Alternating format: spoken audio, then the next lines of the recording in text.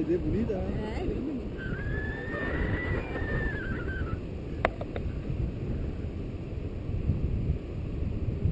Porque ele mora em uma lá no Novo Hospital. Só de quarentena. Só que na real ele morava aqui, né?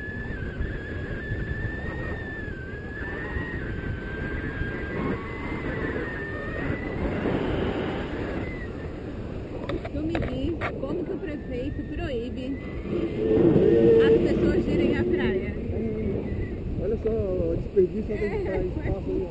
É muito.